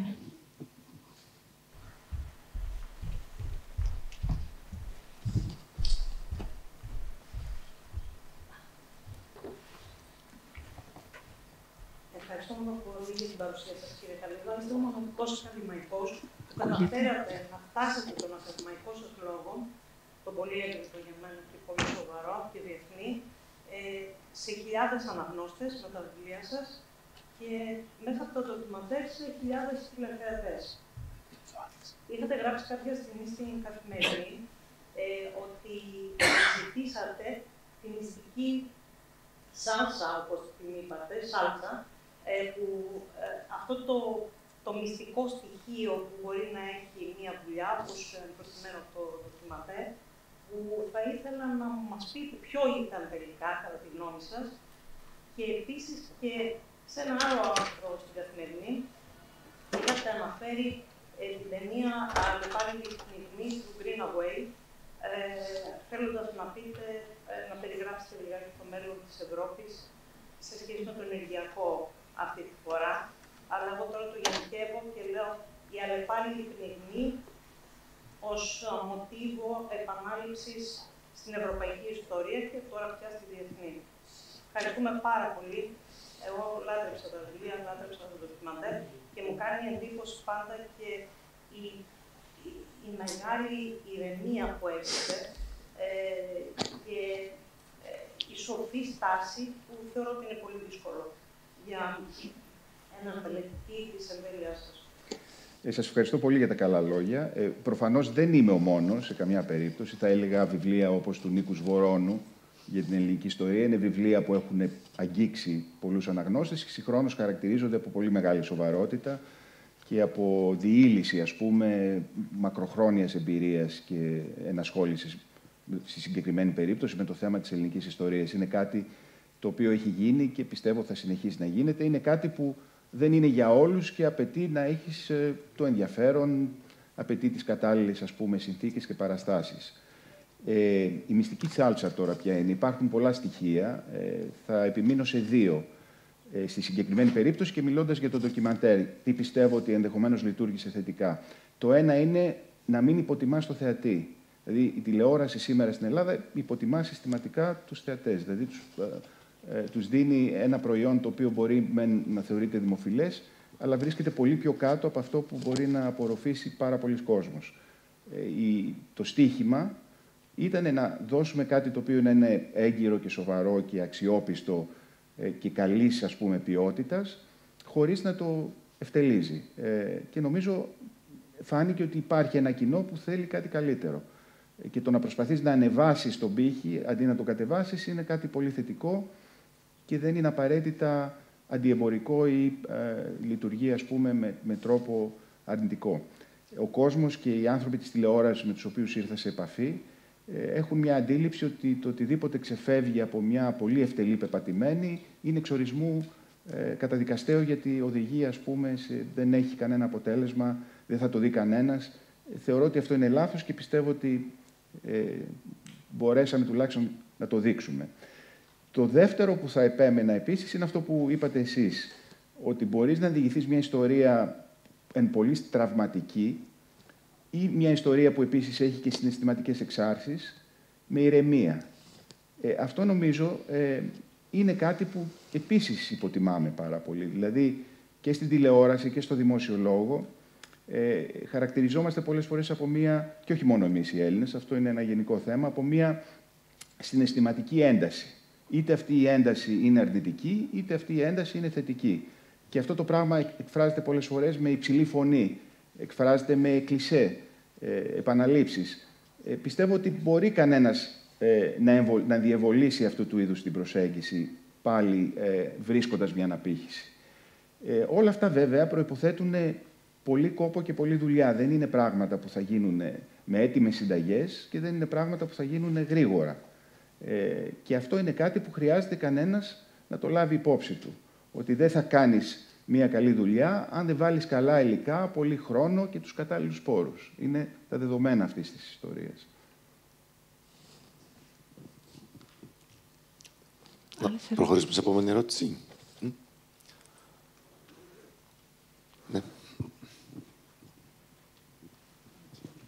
Ε, γεια σας, ευχαριστούμε πάρα πολύ. Ε, η ερώτηση μου είναι η εξής. Αλλάζοντας το μέσον σας, περνώντας από ένα βιβλίο ε, που προφανώς απευθύνεται και σε κόσμο που το έχει επιλέξει και που ίσως έχει και ένα υπόβαθρο σχετικά με το αντικείμενο αυτό πιο βαθύ. Αλλάζοντας λοιπόν μέσον, περνώντας μπροστά από την κάμερα, φαίνεται το πρόσωπό σας, είστε ο αφηγητής, ε, περπατάτε, ε, εσείς κατευθύνετε το ντοκιμαντέρ. Ε, στην τηλεόραση που κάποιος μπορεί να παρακολουθεί πολύ λιγότερο συγκεντρωμένο. Ή μπορεί να δει ένα επεισόδιο και το άλλο να μην το δει. Ή να σας παρακολουθεί με ενδιαφέρον, αλλά να πάει να φτιάξει και κάτι να φάει. Αν λιγάκι ε, άλλαξε το αίσθημα της ευθύνης σας απέναντι στον αποδέκτη σας και στο αντικείμενό σας, αν κάτι αλλάξατε γι' αυτό. προσπαθήσαμε να, σε διάφορα σημεία στο κάθε επεισόδιο να έχουμε ένα είδος ανακεφαλαίωσης. Δηλαδή ουσιαστικά και η αρχή και το τέλος και διάφορα σημεία κάθε επεισόδιο αποτελείται από τέσσερις ενότητες που συνδέονται μεταξύ τους και σε διάφορα σημεία επανέρχεται η κεντρική θεματική. Οπότε υπάρχει ένα νήμα που ακόμα και αν αφαιρεθείς κάπως και ιδίως ακόμα και να μην αφαιρεθείς δεν είναι εύκολο να, να το παρακολουθήσεις γιατί έχει πάρα πολύ μεγάλη συμπίκνωση αλλά επειδή υπάρχει αυτό το νήμα πιστεύω μπορείς να πιαστείς και να πας από το ξεκίνημα στο τέλος να καταλάβεις την ευρεία, το, ευρύ, το, το ευρύτερο μήνυμα. Και επειδή κάθε επεισόδιο ε, έχει την ίδια δομή ε, των τεσσάρων ενωτήτων, ε, πιστεύω ότι και επειδή κάθε επεισόδιο ουσιαστικά αποτελεί και ένα κύκλο σε αυτή την ιστορία των 7 κύκλων, υπάρχει μία δομή που διατρέχει όλη τη σειρά που πιστεύω βοηθάει στο να δεις ένα επεισόδιο χωρίς να έχεις δει το προηγούμενο και να καταλάβεις το πώς συνδέεται.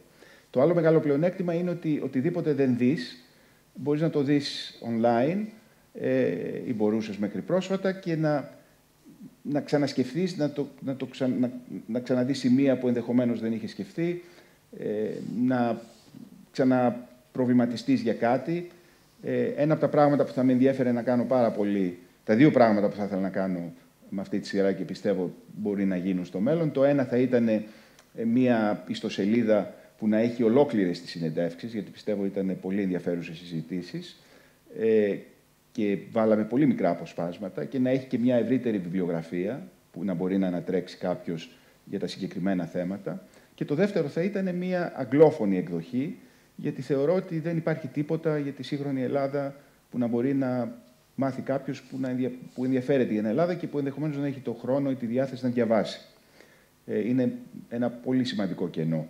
Αυτά είναι τα δύο πράγματα που θέλω να κάνω και πιστεύω ότι ε, με το καλό θα μπορέσουμε να τα κάνουμε κάποια στιγμή. Κάποια άλλη ερώτηση ίσως;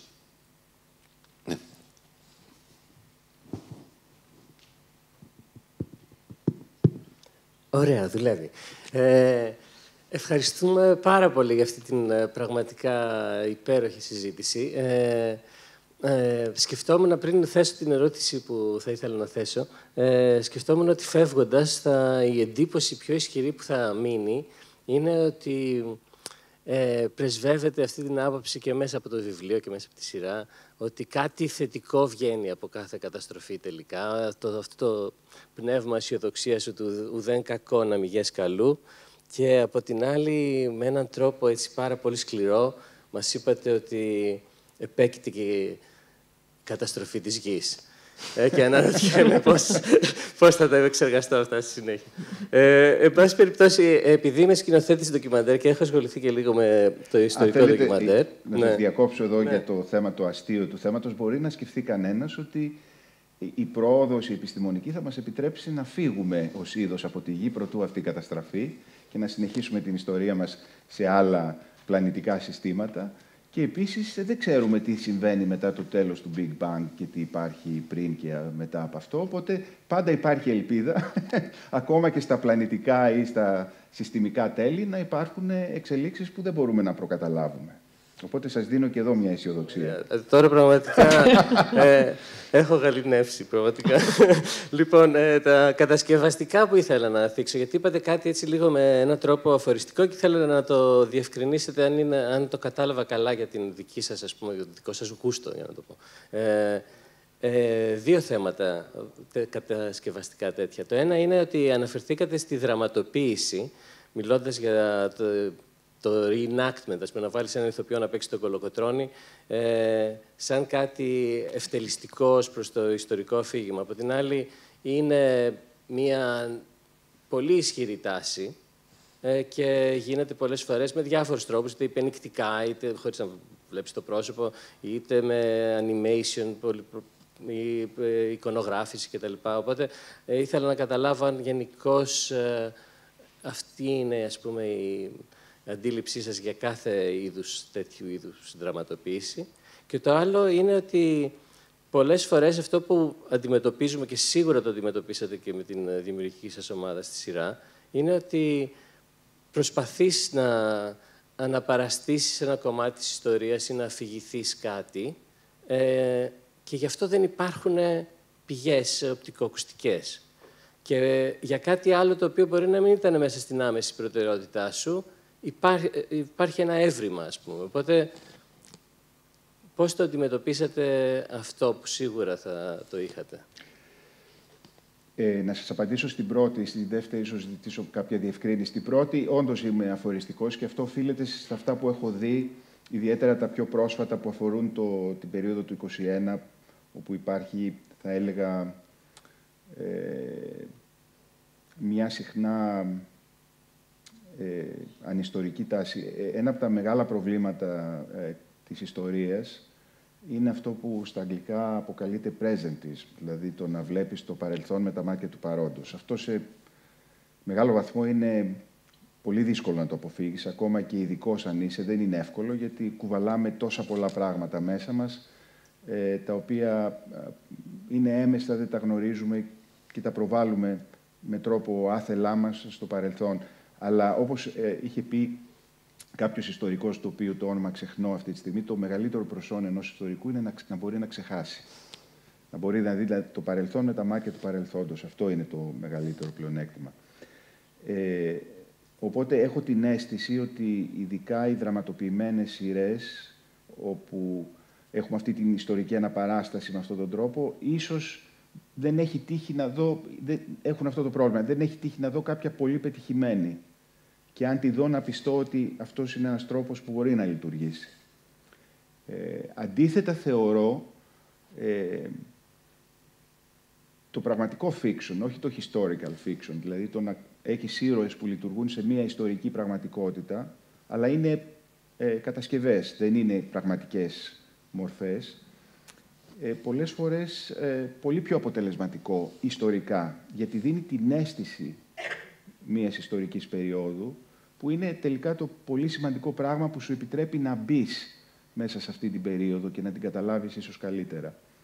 Υπάρχουν και εκεί κάποιες εξαιρέσεις. Υπάρχει ένα καταπληκτικό βιβλίο στα αγγλικά που λέγεται Red Plenty, όπου ο συγγραφέας ξεκίνησε ε, για να γράψει την ιστορία ε, μιας ενδεχόμενης αλλαγής στη Σοβιετική Ένωση που δεν έγινε ποτέ. Τη μετάβαση από την περίοδο του Στάλιν στην περίοδο του Χρουτσόφ, όπου υπήρξε ένα μικρό διάστημα φιλελευθερωποίησης, όπου πραγματικά υπήρχε η δυνατότητα τα πράγματα να αλλάξουν.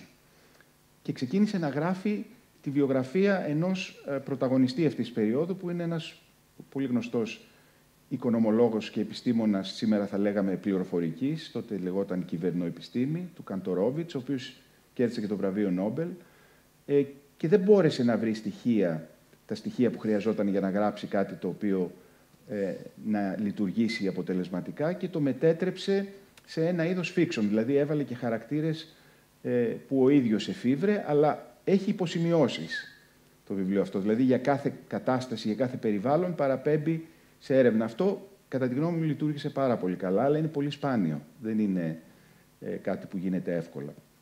Στο δεύτερο θέμα, ε, ένα από τα πράγματα που μου επισήμανε κάποιος, ε, είχα δείξει στην Οξφόρδη τη σειρά σε έναν ε, σκηνοθέτη του BBC, ο οποίος ε, ειδικεύεται μάλιστα στη μεταφορά των θεατρικών έργων του Σέξπιρ σε τηλεοπτική φόρμα, δηλαδή κάνει σκηνοθεσία δεύτερου επίπεδου, ο οποίος επισήμανε κάτι που δεν το είχα προσέξει και δεν το ήξερα, ότι τα, το υλικό αρχείου δεν του αλλάζουμε την, τις διαστάσεις. Δηλαδή προβάλλεται με την αρχική φόρμα και ο οποίος με συνεχάρει για αυτό το πράγμα και αισθάνθηκα, δεν ευθύνομαι εγώ γι' αυτό και αισθάνθηκα ότι πραγματικά υπήρχε μια ποιότητα που δεν την είχα καν αντιληφθεί, την οποία αυτός θεωρούσε πολύ σημαντική.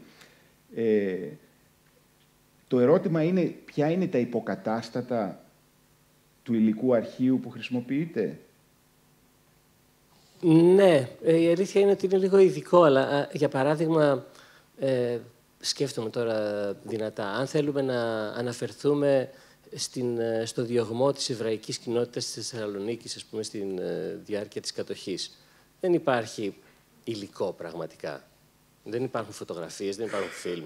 Ε, και εκεί βέβαια μπαίνει το πρώτο ερώτημα, ότι μπορεί εκεί όντως η δραματοποίηση, η εικονογράφηση, αν είναι υπενικτική κάπως, να καταφέρει να μεταφέρει αυτή την εμπειρία. Αλλά ε, μπορεί εκεί, σε αυτή την περίπτωση, να βρει κανείς ε, κάποιο άλλο υλικό. Δεν ξέρω, μπορεί να είναι τα αρχεία από ε, ένα σχολείο εβραϊκό, για παράδειγμα.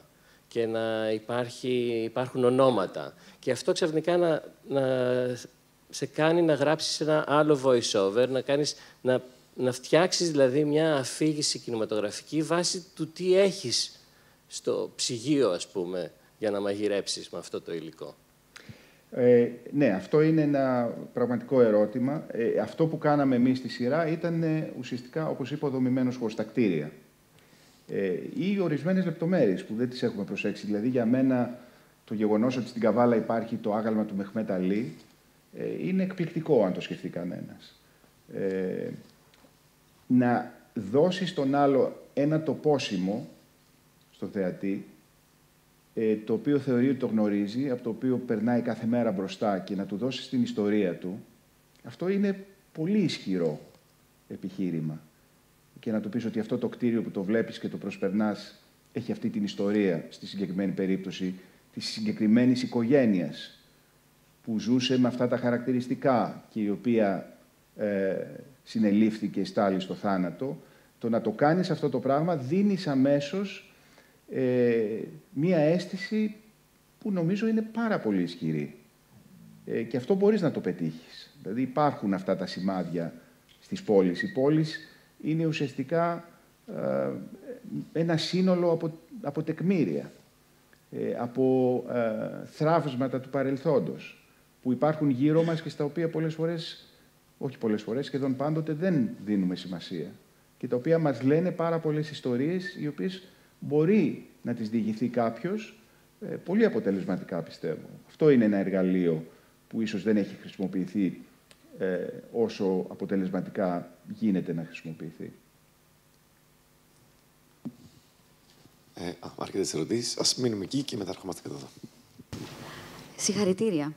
Ε, εξαιρετική παρουσία σας σήμερα, εξαιρετικός ο λόγος σας. Ε, και παρά το γεγονός ότι δεν έχω δει ακόμα τα ντοκιμαντέρ σας, εννοείται ήθελα καταρχάς να κάνω ένα σχόλιο πάνω σε αυτό που είπατε για τον Μεχμέτ Αλή ε, στην Καβάλα. Να ναι. σας πω ότι στη Θεσσαλονίκη έχουμε λίγο πιο κάτω την Πλατεία Ελευθερίας, που κατ' επίφαση είναι Πλατεία Ελευθερίας, γιατί για μας τους Έλληνες ήταν η πλατεία ουσιαστικά που οδήγησε σε κάποια μορφή υποδούλωση, τον, ε, ε, γιατί εκεί έγινε η εξέγερση των Νεότουρκων. Άρα υπάρχει αυτό το κατεφημισμό, να πούμε, ο Μεχμεταλή ή εδώ στη Θεσσαλονίκη κάτι αντίστοιχο. Αυτό που θέλω να σας ρωτήσω είναι το εξής θα σκεφτόσασταν ποτέ να κάνατε ή να βάζατε μέσα στο ντοκιμαντέρ σας την άλλη πλευρά. Παράδειγμα, ας πούμε, την αντίληψη των Τούρκων για το τι σήμαινε η καταστροφή της Μύρνης. Ή θα ήταν επικίνδυνο αυτό ως αφήγημα; Πριν από αρκετά χρόνια, στα πλαίσια μιας άλλης έρευνας, είχα βρεθεί ε, ένα αρκετά μεγάλο διάστημα, ένα τρίμηνο σχεδόν, ε, στην επαρχία της Αλμοπίας, στον Ομοπέλας. Ε, και εκεί ένα από τα πράγματα που έμαθα ε, ήταν κάτι που με συγκίνησε πάρα πολύ και θα μπορούσε να έχει χρησιμοποιηθεί ως ε, στοιχείο για μια τέτοια προσέγγιση, το οποίο είναι οι εκδρομές που οργανώνουν οι άνθρωποι που αναγκάστηκαν να εγκαταλείψουν τα χωριά τους, είτε από τη μία πλευρά είτε από την άλλη, και το πώς οργανώνονται πανηγύρια και βρίσκονται οι νέοι με τους παλιούς κατοίκους είναι κάτι το οποίο ενώ υπάρχουν αναφορές, αυτό δεν το έχω δει να γίνεται ε, αντικείμενο περισσότερης ας πούμε έρευνας και παρουσίασης, ε, το οποίο θα είχε πάρα πολύ ενδιαφέρον, ε, ούτως ώστε να καταλάβουμε ότι η διαδικασία ήταν μια διαδικασία ε, που είχε δύο πλευρές και πώς αυτή έγινε αντικείμενο διαχείρισης ε, στο παρόν. Στη συγκεκριμένη περίπτωση δεν μπορούσαμε να το κάνουμε αυτό το πράγμα, διότι η ιδέα ήταν να πούμε την ιστορία από την πλευρά μας. Όλο το αφήγημα είναι αυτό που λέμε ένα αφήγημα μεταξύ εισαγωγικών εθνικής ιστορίας. Αλλά όταν κανένας επικεντρώνει σε πιο συγκεκριμένες περιόδους, ε, μπορεί να μπει σε πολύ μεγαλύτερο βάθος. Ε, το ίδιο έγινε και με το θέμα του εμφυλίου. Δεν μπήκαμε στις λεπτομέρειες.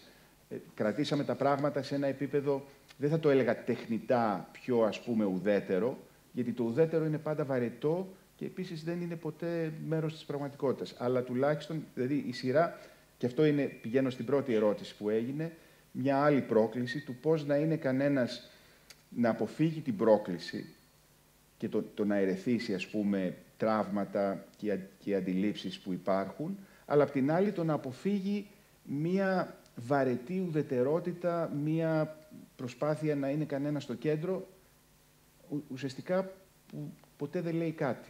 Το οποίο είναι ό,τι χειρότερο υπάρχει και επιστημονικά και αφηγηματικά. Έχουμε για μια τελευταία ερώτηση. Είναι εδώ. Ε,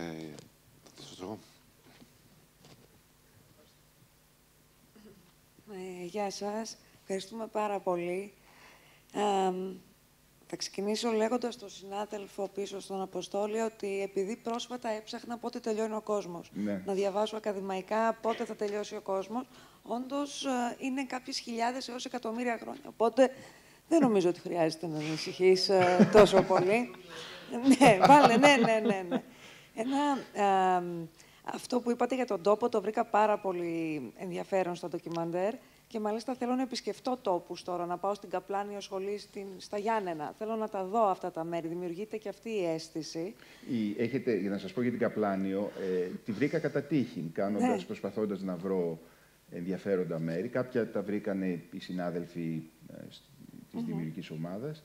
Έχει πολύ ενδιαφέρον ότι η Καπλάνιος ε, φαίνεται τεράστιο συγκρότημα, Ναι, γιατί τη όντως. βλέπουμε από την αυλή της. Άμα τη δείτε από την πρόσωψη, περιτριγυρίζεται από πολυκατοικίες.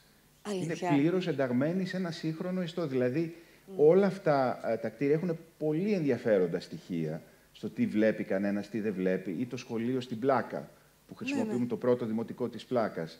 Ε, το οποίο προσπερνάει ο άλλος στην καθημερινότητά του χωρίς ποτέ να δώσει δεύτερη σκέψη στο τι είναι αυτό. Υπάρχουν δηλαδή τόσο ενδιαφέροντα στοιχεία. Ε, μου είπε ένα σχόλιο πρόσφατα στην Οξφόρδη που είχα μια ομιλία για αυτό το θέμα. Μου είπε κάποιος ότι θα μπορούσε να ήταν αυτό ε, ένα ε, αρχιτεκτονικό ντοκιμαντέρ. Πολύ Γιατί σωστά. παίζει πάρα πολύ μεγάλο ρόλο αυτό το στοιχείο ε, και είναι κάτι που και αυτό με και ένα συγκίνησε πολύ. πολεοδομικό ντοκιμαντέρ για την ανάπτυξη της Αθήνας, γιατί όταν α, δείξατε φωτογραφίες της Αθήνας, α, ε, γραβούρες, Ναι. ε, μόνο η Ακρόπολη και τίποτα άλλο, ένα λιβάδι, ε, χώματα, ήταν τρομακτικό. Δεν είχα ξαναδεί κάτι τέτοιο ποτέ. Ή ξέρω εγώ την Ακρόπολη, το σχέδιο της Ακρόπολης, πάνω, του, του ανακτόρου πάνω στην Ακρόπολη, Ακριβώς, του ναι, Σίνκελ. ναι, Ή ας πούμε οι χώροι, το γεγονός σε κάποιους ας πούμε προξένησε ε, έτσι ενδιαφέροντα ανα- αντανακλαστικά το ότι τη συζήτηση για την μεταπολεμική ανάπτυξη της Ελλάδας την κάναμε στο Au Revoir. Που είναι ένα κλασικό Έτσι, μπαρ της ακριβώς. Αθήνας, το οποίο ο περισσότερος κόσμος δεν το έχει ακούσει, αλλά έχει πραγματικά σχεδιασμένο από τον, Αριστομέ... το, από τον Προβελέγγιο, ε, με πολύ σημαντική, ας πούμε, ε, πολύ σημαντικό αρχιτεκτονικό, αλλά και κοινωνικό στίγμα. Υπάρχουν τόσα, τόσες ενδιαφέρουσες λεπτομέρειες τις οποίες προσπερνάμε, αλλά πάλι πολλές φορές αυτές αποδίδονται. Υπάρχουν και σε βιβλία και σε ντοκιμαντέρ. Μα και πρέπει να γίνει επιλογή για 45 Ναι, αλλά λεπτά. Πολλές φορές αποδίδονται με, μια, με έναν ακαδημαϊσμό και ένα είδος εγκυκλοπαιδικότητας που δεν σε τραβάει. Αυτό είναι αλήθεια και οι συνεντεύξεις στα κομμάτια που επιλέχθηκαν ήταν ε, συνεντεύξεις ακαδημαϊκών που δεν μιλούν με αυτό το ξύλινο λόγο και εγώ συνάδελφος. ε, προσπαθούμε ένα καινούριο πράγμα να Ναι. φέρουμε. Όπως επίσης ε, το γεγονός ότι ε, ο- μίλησε ο κύριος, σας ρώτησε για το... ε, σε κάθε ντοκιμαντέρ βιβλιογραφικά υπάρχει ένα key, ένα κλειδί μέσα από το οποίο θα το ξεκλειδώσεις. Είπατε εσείς voice of God το ονομάζω εγώ, την αυθεντία, τη φωνή, το voice over. Εσείς επιλέξατε να είστε εκεί μέσα. Μα Εσείς γράψατε το βιβλίο. Ε, γιατί όχι ένας ακαδημαϊκός να μην είναι, ε, πώς έχουμε πολύ γνωστούς ε, ποδοσφαιριστές, να ονομάσω star chef, όλοι κάτι σε star μπορούν. Ένας star ακαδημαϊκός, ε, έγκυρος εννοώ, δεν το, δεν το λέω ως κοπλιμέντο, καταλαβαίνετε τι εννοώ. Ναι, θέλω να πάει εκεί και να μου πει και την ιστορία του, γιατί από τις μικροϊστορίες είχε πει ο καθηγητής, ο κύριος Καραλής, στη δικιά μας την ημερίδα, φτιάχνουμε και το μεγάλο αφήγημα. Όλες αυτές οι μικροϊστορίες, εσείς ότι γεννηθήκατε στη Νέα Σμύρνη και τα λοιπά, φτιάχνει και ένα μεγάλο αφήγημα για μένα. Και τέλος, θέλω να σας ρωτήσω, που για μένα είναι το πιο βασικό. Επειδή... Η οποία σημειωτέων δεν είναι έβριμα της, του ντοκιμαντέρ, ήταν όντως Όχι βέβαια, ναι. περνούσε από εκεί. Οι την μικροϊστορίες αιστεία. λέω ότι ε, οι προσωπικές μας, η δικιά Ναι, μου, ναι. της Μαρίνας, ε, όλων των ε, Ελλήνων και των Ελληνίδων. Έχετε προσεγγιστεί ποτέ ή σκεφτήκατε ποτέ ότι πρέπει επιτέλους η εθνική μας ιστορία να ξαναγραφτεί, να ανανεωθεί από τον Παπα Ριγόπουλο, το λέω σωστά, το 1800 κάτι, σας έχει προσεγγίσει ένα Υπουργείο Παιδείας ή να συμμετέχετε σε μια επιτροπή Ευτυχώς επιστημόνων, όχι. Για να μάθουν τα παιδιά μας, γιατί εγώ βλέπω την ανιψιά μου να μαθαίνει τώρα την ιστορία στα 8 και ε, δυσκολεύομαι πάρα πολύ. Κοιτάξτε, τώρα υπάρχει και μια πολυδιάσπαση, δηλαδή πάρα πολλά παιδιά, ουσιαστικά το διαδίκτυο λειτουργεί ως, ας πούμε, δάσκαλος πολλές φορές και το πρόβλημα είναι ότι εκεί έχεις ε, μια, ας πούμε, απίστευτο θόρυβο, έτσι. Ε, οπότε πιστεύω ότι χρειάζεται, δεν πιστεύω ότι μια, η, η ιδέα της κεντρικής, ας πούμε, του κεντρικού μηνύματος θα έχει την ίδια δύναμη που είχε στο παρελθόν, αν και απ' την άλλη υπάρχουν πολλές έρευνες που δείχνουν ότι τα πράγματα που ακούνε σε μικρή ηλικία, τα παιδιά είναι πράγματα που εντυπώνονται και έχουν μεγάλη διάρκεια στη ζωή τους. Ε, πιστεύω ότι αυτό το σχήμα κάπως αμφισβητείται και καλό θα ήταν στο διαδίκτυο εκτός από τα σκουπίδια να υπάρχουν και καλά πράγματα, ώστε να μπορεί να να ψάξει ο άλλος ε, ε, και να βρει πράγματα τα οποία να είναι πιο ουσιαστικά. Ε, αυτό είναι ένα άλλο θέμα συζήτησης. Η βασική λειτουργία του σχολείου πρέπει να είναι η καλλιέργεια της κριτικής ικανότητας και ιδιαίτερα η, δυνατότητα να μπορεί κάποιος να διαλέξει τα πράγματα τα οποία έχουν μεγαλύτερη εγκυρότητα από αυτά που έχουν λιγότερη. Είναι το μεγάλο διακύβευμα της εποχής, πώς επιλέγεις στο θέμα της εγκυρότητας. Αλλά προς τα εκεί βλέπω να βαδίζουμε, παρά στο, στην δυνατότητα ενός Υπουργείου να καθορίζει το ψυχικό, ας πούμε, και το, την ταυτότητα και τον κόσμο με την ίδια δύναμη που αυτό είχε στο παρελθόν. Αλλά τις παραμέτρους, δηλαδή πώς γεννήθηκε το ελληνικό ναι. ποια ήταν η συμβολή των ξένων δυνάμεων. Ε, πολλοί καθηγητές μου είπαν ότι ε, θα τους βοηθούσε να, να υπάρχει σειρά στο διαδίκτυο, με τον κατάλληλο, με τη βιβλιογραφία και όλα αυτά. Επίσης, ε, ένα πράγμα που δεν προβλήθηκε στη τηλεόραση, που κάναμε για το κλείσιμο της σειράς, ήταν μια συζήτηση με μαθητές, ε, το οποίο υπάρχει διαδικτυακά. Ε, ζήτησα, ήρθα σε επαφή με κάποιους καθηγητές από δύο σχολεία, ε, ένα ιδιωτικό σχολείο στο Περιστέρι και ένα δημόσιο σχολείο, το καλλιτεχνικό σχολείο του, του Γέρακα, νομίζω, ή της Παλίνης. Και Προσφέρθηκαν εθελοντικά κάποια παιδιά να δουν τη σειρά ε, τη στιγμή που προβαλόταν. Κάναμε δύο-τρεις συζητήσεις, σαν ας πούμε μικρά workshops μαζί και μετά γυρίσαμε μια συζήτηση και μοντάραμε ένα μικρό κομμάτι στο οποίο τα παιδιά λένε τι τους έκανε εντύπωση από αυτή τη σειρά. Το οποίο θεωρούσα ότι είναι κάτι πάρα πολύ ενδιαφέρον και ωραίο, το οποίο το έκοψε η τηλεόραση, γιατί το θεώρησε μη εμπορικό, παρότι ήταν ελάχιστα λεπτά τελικά. Ε, αλλά θεωρώ ότι αν τα παιδιά αυτά αντιπροσωπεύουν ένα δείγμα, που μπορεί να μην αντιπροσωπεύουν το απόλυτο δείγμα, αλλά σίγουρα δεν είναι και περιθωριακό αυτό. Υπήρχε μια πολύ ενδιαφέρουσα διάδραση με το υλικό. Ε, οπότε θεωρώ ότι υπάρχει περιθώριο ε, σε αυτό το πλαίσιο. Θα χρειαστεί να κλείσουμε κάπου εδώ. Θα χρειαστεί να κλείσουμε. Ναι, Ευχαριστούμε πάρα πολύ. Εγώ ευχαριστώ και ευχαριστώ πολύ που ήρθατε Κυριακή πρωί.